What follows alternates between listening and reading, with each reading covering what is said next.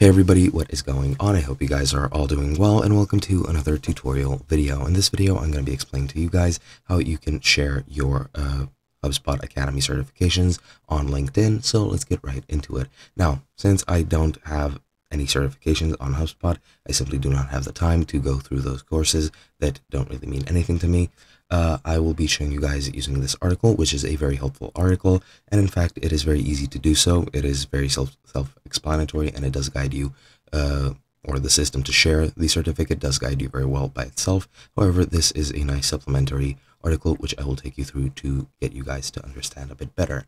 Now, once you go uh, to your share your achievement page, you just need to uh, go to your account name, click on HubSpot Academy, My Learning, and then click completed and then click the award type and show only certificate courses. Uh, then click on view certificate. And then to download it, just click download certificate. Or if you want to share it uh, on social networks, click share your achievement.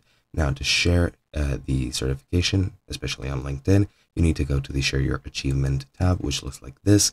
And then you can select either a LinkedIn post or a LinkedIn license and certification to add it to your profile.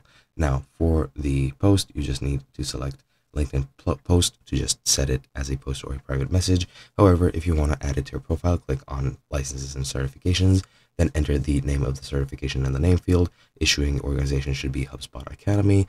Then the issue date uh, should be the month and year you passed, and it should uh, also be followed by the expiration date, which is the month and year until it lasts, and it might show up as the valid until date on your uh, certification, just so you know.